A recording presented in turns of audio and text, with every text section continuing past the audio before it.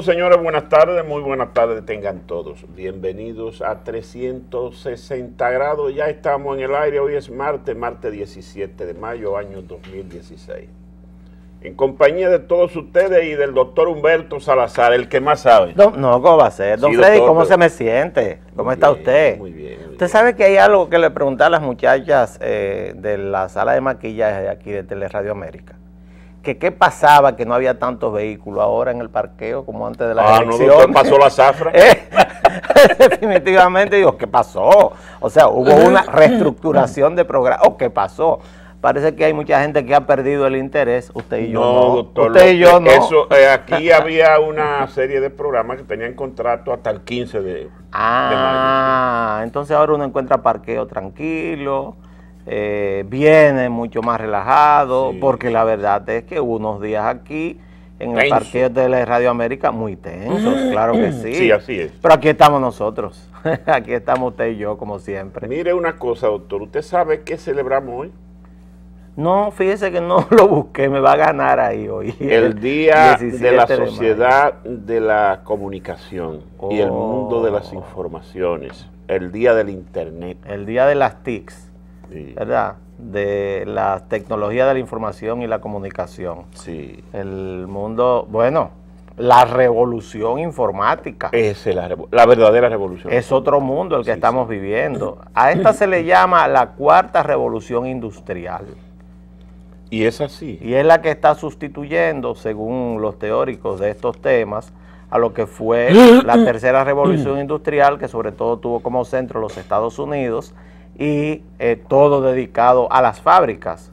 Igual que la primera, donde lo que hubo fue un cambio de paradigma en el uso de eh, las energías, la segunda, que tuvo como su centro Inglaterra, la tercera, la tercera revolución industrial, que es la de la producción en masa, la masificación de la producción de bienes, sobre todo de bienes, y ahora la cuarta revolución industrial, donde se, lo que se plantea ya es una revolución del conocimiento. Yo No sabía que había un día dedicado a eso, Sí, pero fíjese sí, para sí. que usted vea qué 17 interesante. de mayo y así está consignado. Hay muchas actividades, sobre todo el mundo de la academia.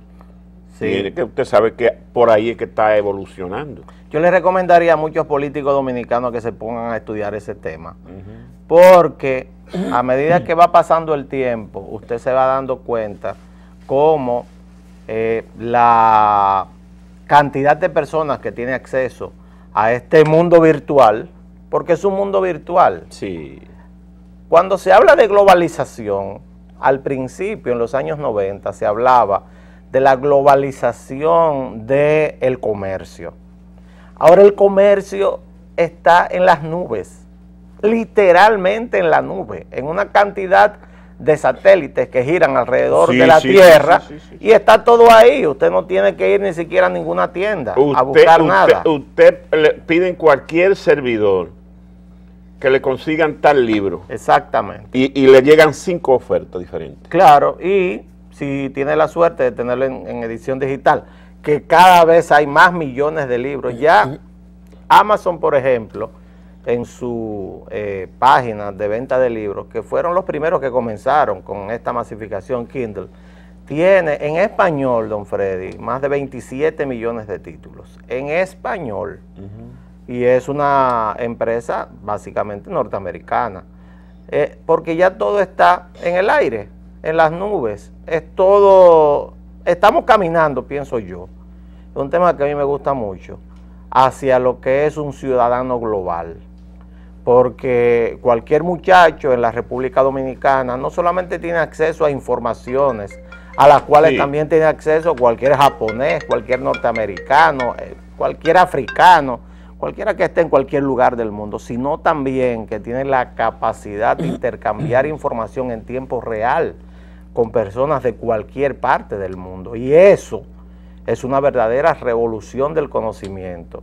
Y es algo a lo cual la República Dominicana, con el proyecto RD Digital, eh, está apostando fuertemente con lo que tiene que ver con la disminución de la brecha digital.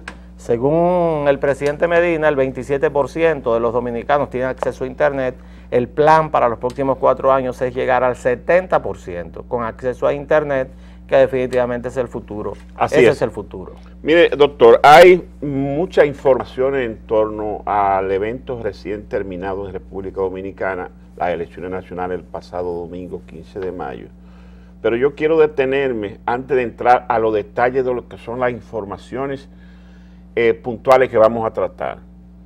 Detenerme en el informe de la misión de la Organización de Estados Americanos, OEA, que ha leído el presidente de la misión, el expresidente colombiano Andrés Patranas, donde hace señalamientos puntuales.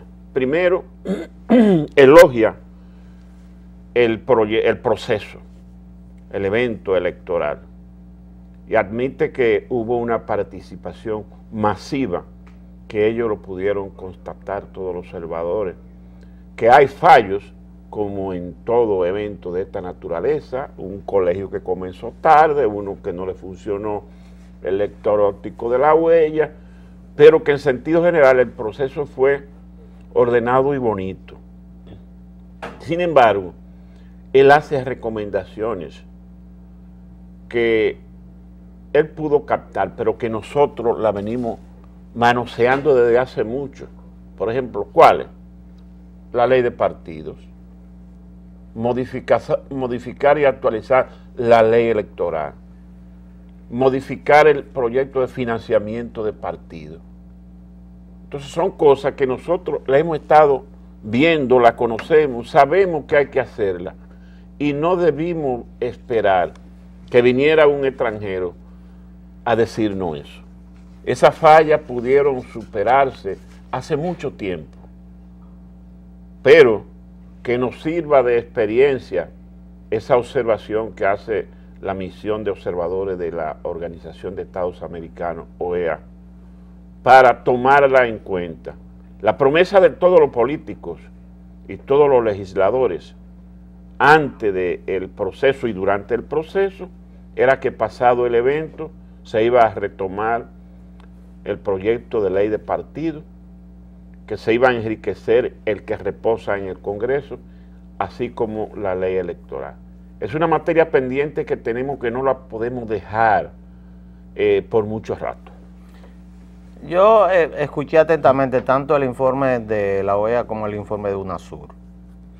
El de Andrés Pastrana, famoso Andrés Pastrana, sí. fue de los secuestrados por, por Pablo Escobar y fue presidente de Colombia. Eh, a mí me llama la atención, no me sorprende, él desconoce muchos de los detalles que, en que estuvieron envueltos los miembros del tribunal, perdón, de la Junta Central Electoral. Sobre todo, la mayor parte de las fallas que se señalan tienen que ver con el aspecto técnico. Sí. Y lo único que no podemos soslayar, ni creo que la Junta Central Electoral debe dejar en el aire, es que aquí hay que saber qué ocurrió entre la madrugada o la noche premadrugada, antes de la medianoche del día 14 de mayo y la madrugada del día 15 de mayo, antes de la instalación de los colegios electorales, con el tema de las más de 3.000 personas que habían sido capacitados como técnicos para instalar los equipos que iban a leer huellas, a leer actas y a transmitir datos y renunciaron.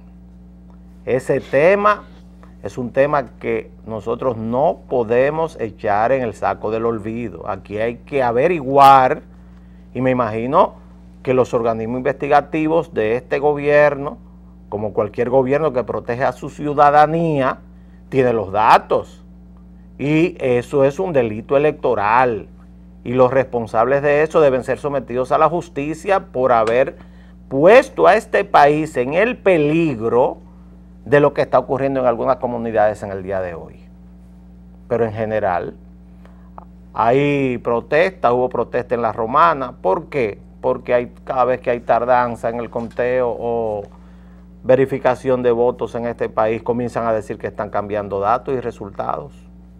En Mao hay un candidato a senador que ya se puso a celebrar, que sospecho, después de haber visto el boletín 5, de que ese resultado, que solamente hay 19 votos que diferencian al candidato del PLD y aliados con el candidato del PRM y aliados por la forma en que este candidato salió a, a proclamarse ganador, yo creo que va a cambiar. Hay una situación en la Junta Electoral de Pedro Brán con el mismo problema. ¿Por qué?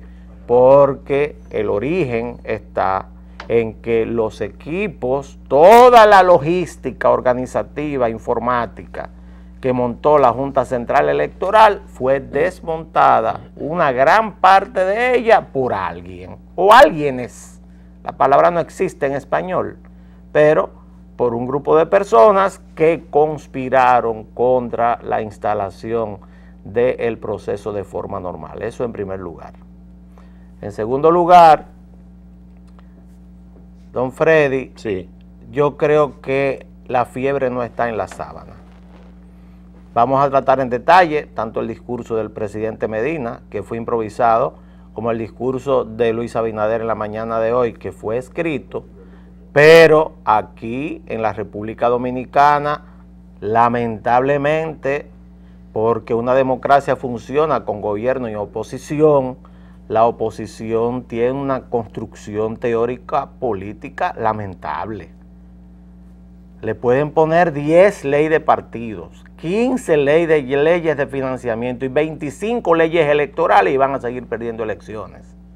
¿Por qué? Porque lo que demuestran es una falta de pericia y conocimiento político y son verdaderos amateurs frente a políticos profesionales que están del lado del Partido de la Liberación Dominicana, como el presidente Medina, el presidente Fernández, Monchifado, qué sé yo, todos los miembros casi del comité político, algunos me imagino que serán, se retirarán después de esto, porque por edad ya les toca retirarse y dar paso a nuevas generaciones. Pero fíjese que en Estados Unidos, hablando de informática, el último presidente que no sabía encender una computadora fue George Bush padre. Hasta ahí llegaron, después de ahí todos. Ahí en ese comité político del PLD y en el comité político del reformismo y en el PRD y PRM, muchísima gente que no sabe encender una computadora ni usar un teléfono celular se parece, o sea, solamente saben hacer llamadas y así no se puede porque es una generación nueva. Entonces yo digo que hay un problema de construcción, de visión estratégica de país en la oposición que les impide ver sus fallas y lo que trata es de endilgarle sus derrotas cada vez que salen vencidos por los políticos profesionales que están dentro del PLD al árbitro, a la gente, a situaciones que ya son parte del pasado en la República Dominicana. Es decir, que en este momento eh, lo que habla tanto el informe de UNASUR como de la OEA son, es de unas elecciones organizadas, de unas elecciones donde se expresó la voluntad popular, de unas elecciones en las cuales la República Dominicana da otra vez un ejemplo de que está en capacidad de ir cada cuatro años, hace 50 años ya, ¿eh? 50 años. No, y, además algo que notan, que hace notar eh, el informe de los observadores de UNASUR, que están sorprendidos de la forma entusiasta en que participa el dominicano en el proceso electoral porque las votaciones no son obligatorias. Aquí se tiene el, el derecho, el, derecho eh, el voto es un derecho y un deber, pero no es obligatorio como en algunos países. Yo viví en un país donde eran obligatorias, en la Argentina. En la Argentina, elecciones obligatorias. El que no va a votar... ¿Tiene una sanción? Tiene una sanción. y si usted no va a votar está en el extranjero, tiene que enviar una certificación de por qué usted no fue a votar. O si está enfermo. Exacto. Aquí, más del 70% vamos disciplinadamente a votar. Y con entusiasmo. Claro. Nos La gente le gusta participar. Nos ponemos en fila. Fíjese incluso algo de estas elecciones que pasaron, don Freddy. En estas elecciones no hubo un solo incidente que lamentar en el transcurso del proceso. Lo que lo, lo, lo lamentable es hecho que se produjeron fueron después del evento. ya en discusiones por el conteo o uno que se reaccionó porque perdió, en fin, ese tipo. De todas maneras, en el día de hoy me puse a ver la televisión y oír la radio con detenimiento en torno a los reportes del interior, tal como usted señaló, ciertamente. Hay inconformidades, hay pataleo, hay rabiaca en torno a resultados. Tengo los informes de Inver, mi pueblo, tengo los informes de Mao, Bonao, en Higüey, en La Romana, en varios otros, aquí en Pedro Brán, pero en varios sitios. Pero yo inscribo eso dentro de lo normal, porque aquí hay una cultura de no aceptar la derrota. Entonces yo no le hago, lo oigo, lo registro, pero no le pongo mayor atención. Más atención le pongo a los gestos de nobleza de algunos políticos que son actores del proceso y ya están dando ejemplo. Un caso, por ejemplo, el de Roberto Salcedo. Le escribió una cartita muy bonita a David Collado, felicitándolo por el triunfo y diciéndole el reto que tiene para con la ciudad primada de América. Una, bien bonita la cartita. Y además, designando la comisión de transición para comenzar eh, a, mostrarle lo que es el ayuntamiento del Distrito Nacional. Y le pide que designe también el equipo de él que va a recibir las orientaciones de la comisión que él está Ese es un gesto bonito. Me, eh, me, gustó lo de esa Solamente una pincelada. Fíjese lo que estoy diciendo. Ese es un gesto de un político profesional. Sí, sí, sí. Que sabe que el mundo no se acabó el día 15 y que en el 20 habrá una revancha, porque la política siempre da revancha. Sí, señor. Ese es un gesto que enaltece a Roberto Salcedo. Roberto no está pataleando ni diciendo que le hicieron trampa, ni echando un pleito dentro de su partido, ni diciendo, no, no, no, no. Venga aquí, que democráticamente usted ganó, nombre una comisión de transición que mi deber es dar continuidad a todo esto, porque así es que funciona. otros gestos que, que son dignos de que se mencione, el de José Lalu, un joven político del PLD muy bien formado, que tiene ideas innovadoras interesantísimas sobre el liderazgo responsable. Él prácticamente dio hoy una un resumen de lo que él hizo y de lo que recibió. Dice, me sobraron recursos, pero todavía no puedo cuantificar porque me queda la tarea de recoger todos los afiches que colocamos, eh, pintar todo lo que, eh, lo, que ensuciamos, lo que ensuciamos. y después entonces voy a sumar los recursos que me quedan para entregárselo a mi partido. Oiga eso. Gesto bonito también. Abel Martín en Santiago. Y Julio César Valentín. Los dos, ¿eh? Sí. Julio César Valentín también. Eh, Lo hicieron los dos. Y, también aquí Ito no Sí. A recoger todo ya. Entonces, eso le habla a usted de lo político profesional. El que maneja el oficio y lo hace con gallardía.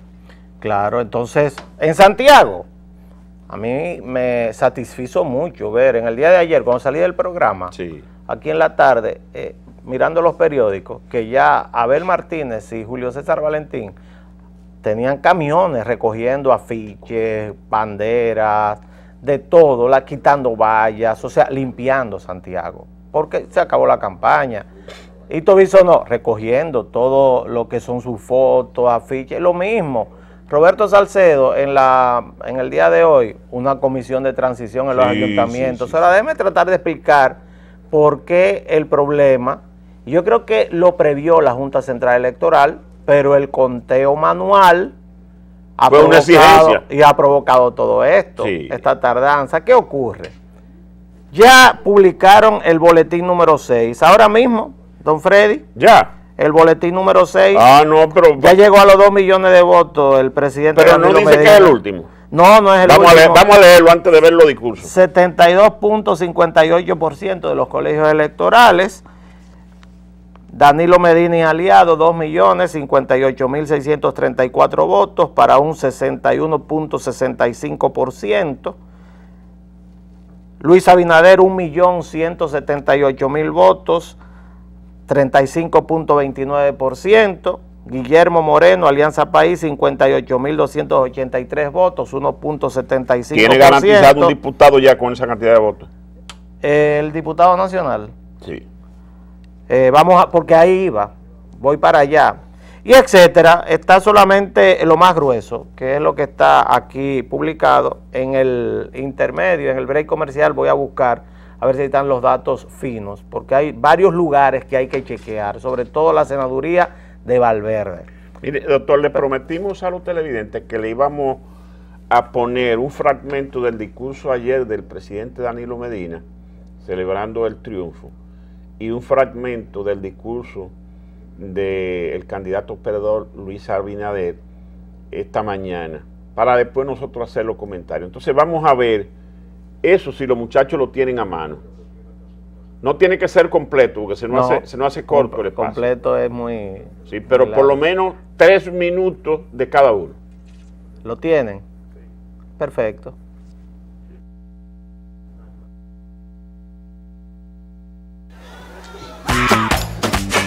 Salomón, ¿cómo están? ¿Cómo están? ¿Están felices? Yo lo estoy. Compañero Reinaldo Pared Pérez, senador electo por el Distrito Nacional y secretario general del Partido de la Liberación Dominicana. Compañero Francisco Javier García, director general de la recién finalizada campaña electoral. Compañero Miguel Vargas, presidente y líder del Partido Revolucionario Dominicano. Mi querida Candy Montilla de Medina. Hey. Hey. Compañeras y compañeros del comité político que nos acompañan. Compañeros del comité central. Queridísimos compañeros, dirigentes y representantes del poderoso sector externo que apoyó nuestra campaña electoral a lo largo y ancho de la República Dominicana.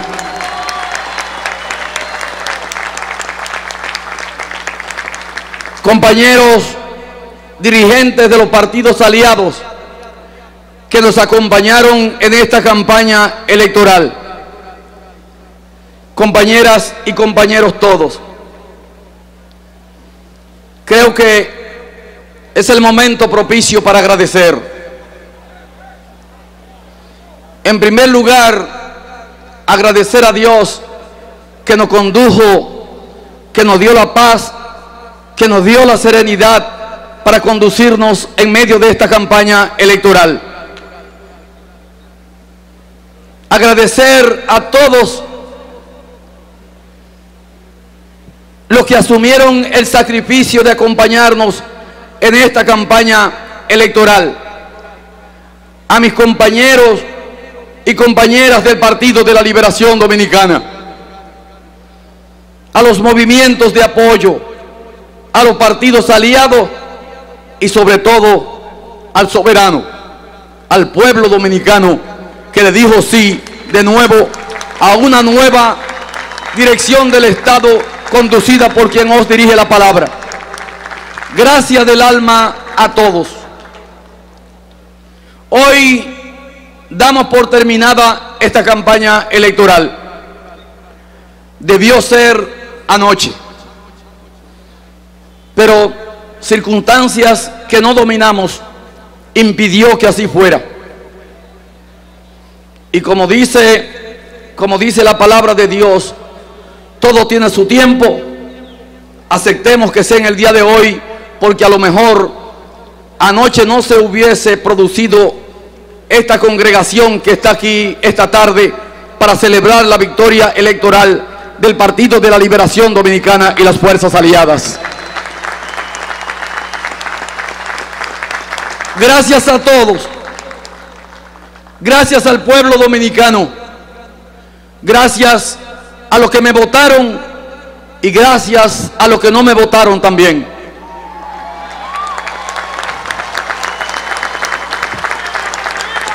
A partir de hoy vuelvo a ser el presidente de todos los dominicanos y las dominicanas. A partir de hoy volvemos a trabajar por todos los dominicanos y las dominicanas sin importar el color de la bandera que lo arropó en medio de esta campaña electoral. Yo creo que hay cosas que hemos aprendido. Hemos aprendido a no odiar. Hemos aprendido a respetar el derecho de cada quien. Ya vieron ustedes un fragmento, apenas un fragmento, el inicio del discurso interesantísimo del presidente Danilo Medina, eh, agradeciendo. Fíjense cómo él inicia su discurso. Es el momento de agradecer y comienza a mencionar todos sus compañeros, sus aliados, la gente que dedicó tiempo a ese proyecto y a la campaña. Pero más adelante el presidente llama a la unidad para que le ayuden a gobernar. Un discurso interesantísimo, no fue largo, fue improvisado, pero con un contenido que vale la pena oír. Lamentamos muchísimo, por cuestiones de tiempo, no ponérselo entero. Pero yo quería que ustedes oyeran porque quizá ayer no lo oyeron, oyeron esa parte que es la más interesante de todas. Eh, aparte del discurso, yo estoy buscando aquí algunos datos que les habíamos prometido en el boletín número 6, ah, porque hay elecciones muy cerradas. La senaduría de Valverde, que nos está mirando por allá, el Partido de la Liberación Dominicana y aliados, 23.083 votos. 49.15%. El Partido Revolucionario Moderno y Aliados, 23.195 votos. La diferencia con el 63.71% de los colegios escrutados, todavía falta 36.29% de colegios por contar. ¿Usted sabe cuánto es, don Freddy? Sí. 95 menos 83 son como 88 votos está esa senaduría, eh, solamente la diferencia son alrededor de ochenta y tantos votos. O sea que esa senaduría está en el aire todavía. todavía ahí no hay nadie seguro. Esa, la mayoría ya, yo estuve chequeando rápidamente aquí, y la mayor parte de las senadurías ya están todas eh, ya listas. San, Pedro, San Pedro Sí, sí, totalmente. Ganó Josecito Jacín. El la senaduría también ganó el Seibo, porque es que ya tenemos... Bonao. También ganó el PLD la senaduría de Bonao. O sea, hizo la diferencia. Al final tiene ya 7% de diferencia. Puerto Plata. También. Ganó eh, Paliza. Ganó Paliza. O sea, la oposición tiene hasta ahora la senaduría de San Pedro de Macorís. Josecito Bacín ganó solo, sin alianza. Puerto Plata, eh, Paliza. Y eh, son tres. Y la tercera. ¿Cuál era la tercera? La tercera es Mao, pero Mao, está, arriba, pero eso está en discusión. O sea, todavía no se sabe. Eh, así que probablemente el PLD pase de 31 a quizás 29 o quizás 28 senadores. Aunque hay que sumar ahora al PLD también porque fue aliado la senaduría de Higüey la señoría de la Alta Gracia, donde Amable sacó. ¿Y la, y la, de Ocoa? Sí, Amable sacó un 67%. Esa es la tercera, ¿verdad? Esa es la tercera que me faltaba del BIS, que es un aliado del gobierno, pero es un. Eh, Pedro Alegría resultó electo. También aquí está la diferencia. ¿Usted sabe quién ganó? Nuestra amiga Karina Aristi. Un abrazo a Karina. Ajá, pero Cholitín está pataleando. Eh, la buscamos. Bueno, pataleará mucha gente. Le voy a decir por qué. Porque ahora viene la parte fina del proceso. Ahora viene la asignación de regidores y diputados. Y eso es con el método de Home. Ahí hay una fórmula matemática. Cuando, fíjense, por ejemplo, vamos ahí a esa, a esa misma senaduría. La de, la de, la de Valverde, que yo la tenía aquí abierta. Son ochenta y tantos votos de diferencia. Hay 1.976 votos nulos. Todos esos votos hay que chequearlos ahora. Y esos votos se determinará si el colegio electoral los anuló en forma legal o ilegal. Entonces, esa senaduría, esa no se va a saber hasta que termine todo el proceso de conteo de actas de votos nulos, votos observados, todo tiene que terminar para saber a quién se le va a asignar esa senaduría. Y solamente son dos diputados. Pero en esta circunscripción uno del distrito, donde son seis diputados, el cuarto diputado del PLD, eso se determinará por poquitísimos votos, porque es toda una fórmula matemática. Ahora viene la parte fina del proceso, pero ya lo grueso ya se sabe, excepto eh, esa senaduría. doctor, eh, el boletín 6, tal como usted dijo, es importante, pero lo que me sorprende a mí es que usted no le dio importancia al discurso de Danilo. Usted prefirió irse al, al, boletín e ignorar el discurso de Danilo. Porque usted sabe qué pasa. A usted cada día me sorprende más. Porque yo aprendí de usted, de Oscar, de don César, o sea, de la gente que sabe mucho más que yo, porque yo lo que soy es un médico que viene aquí a hablar con usted, o sea, yo no soy comunicador, de que esto que sale ahora es lo que le interesa a los televidentes. El discurso del presidente Medina fue la tarde de ayer. Ya todo el mundo lo leyó. Entonces venir a comentar eso ahora frente a este boletín, nosotros creo que no le haríamos mucho favor a los televidentes. Le estamos dando la noticia calentita. Ya, me dice, ¿Eh? ya me dice el menor, si le da oportunidad de defenderse, mire, lo hace como un gato boca. Señores, tenemos que hacer la pausa y ver los comerciales. Ya regresamos.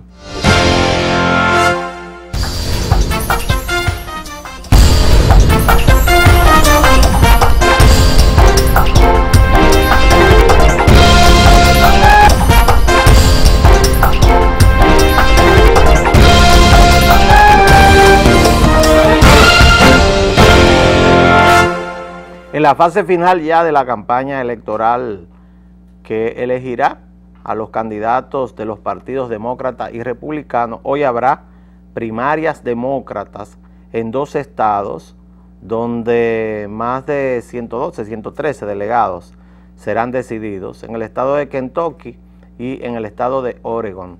En el estado de Kentucky a este le está poniendo mucho énfasis, mucho trabajo e incluso mucho dinero la precandidata o candidata a la presidencia Hillary Clinton, que ya quiere clinchar, como se dice en el argot político, lo que es la candidatura. En este momento Hillary tiene 1.716 delegados, necesita 2.240 para ya ser proclamada candidata en la convención el próximo mes de julio. necesita?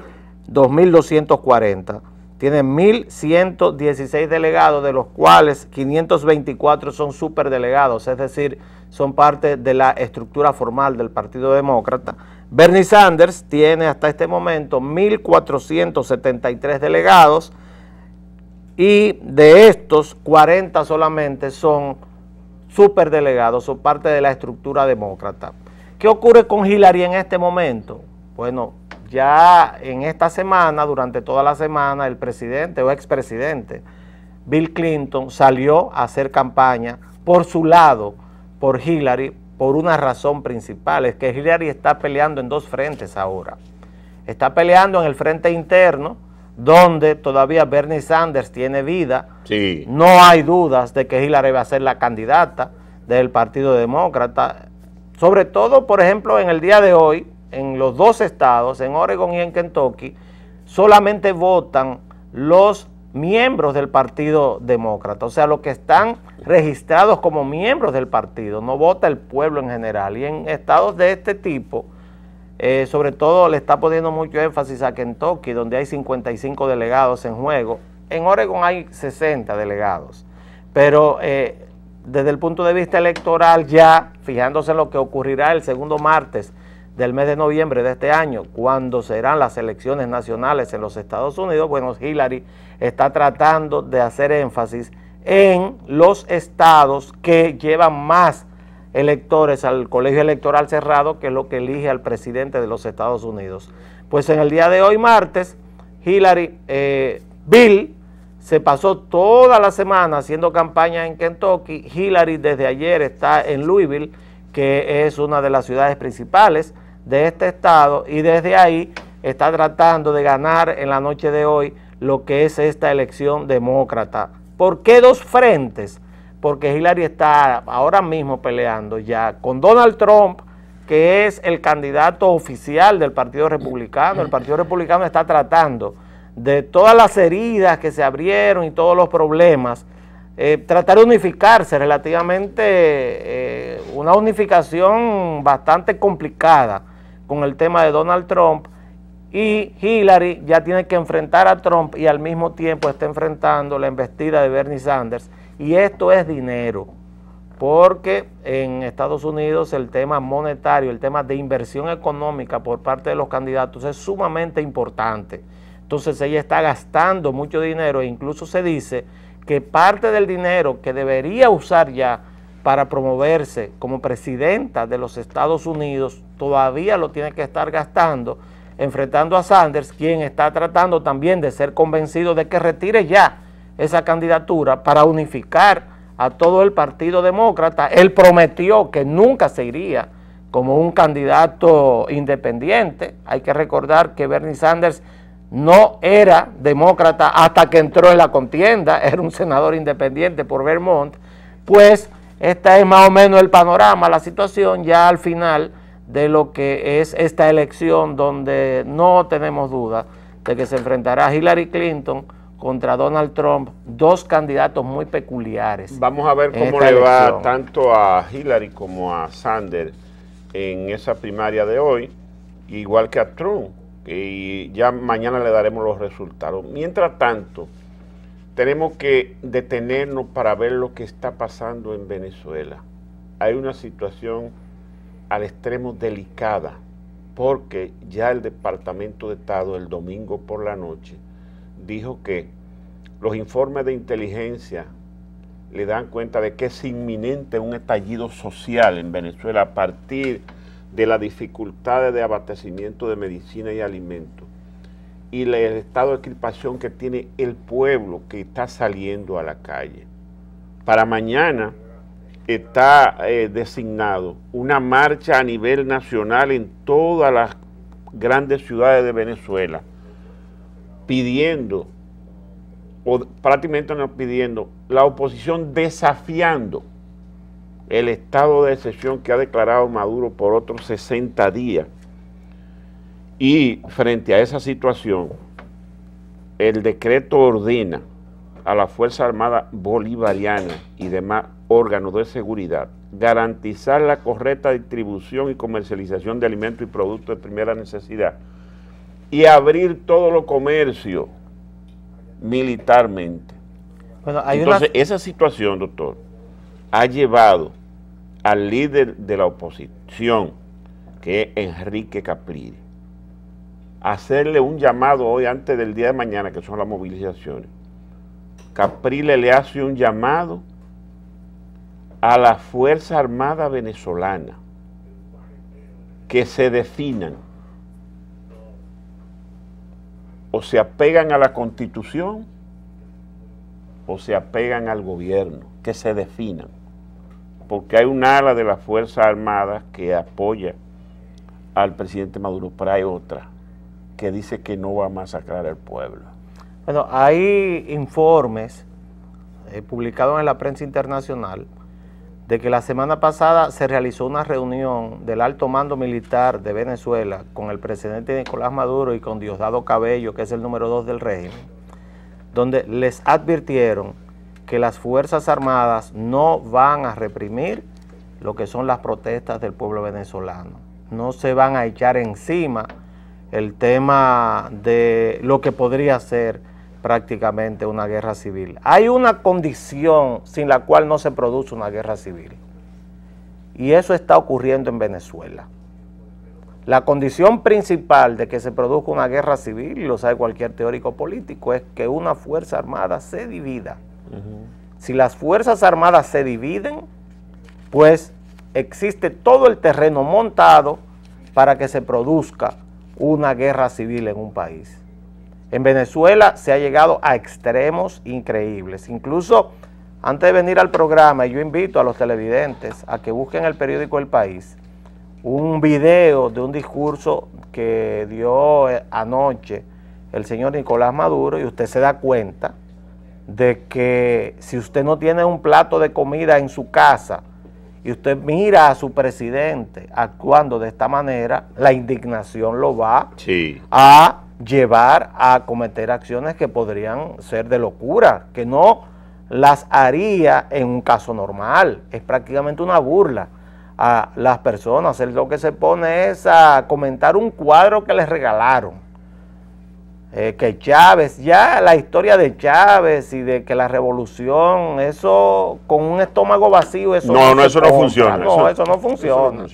Entonces el problema de Maduro es que aunque abran los comercios, en los comercios no hay nada ya, no hay medicinas, no existe prácticamente nada que vender, las fábricas están cerradas porque no tienen materia prima y lamentablemente para el pueblo venezolano yo creo que tendrá que pagar con lágrimas de sangre lo que ha sido un experimento llamado socialismo del siglo XXI, cuando en Europa hace tiempo, donde inventaron eso. ¿eh?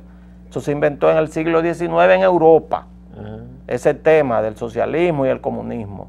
Y esa discusión se marcó, fue montado durante prácticamente todo el siglo XX, pero en el 89 el muro de Berlín cayó.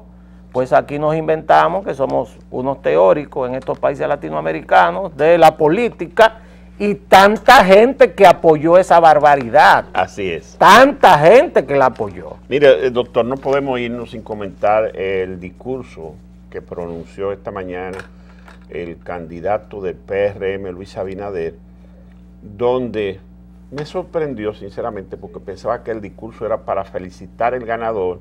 Yo también. Y para plantear un reencuentro de toda su fuerza para que aprovecharan el momento e hicieran una oposición constructiva. Sin embargo, no es así.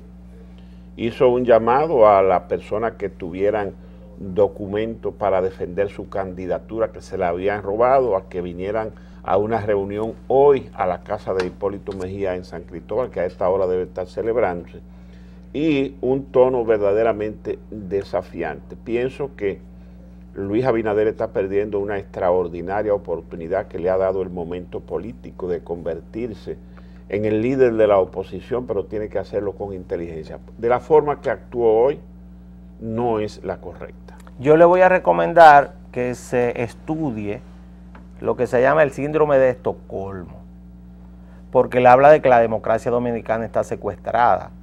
En Estocolmo en los años 60, a principios de los 70, hubo una, un asalto a un banco, tomaron cuatro rehenes, un hombre y tres mujeres, y al final las mujeres se pusieron delante para que a la persona que asaltó el banco no la mataran, e incluso le, mayor confianza con el secuestrador que con la policía y la más famosa fue Patricia Hers. Pues yo le recomiendo a Luis Abinader que averigüe por qué la República Dominicana tiene un síndrome de Estocolmo con el PLD.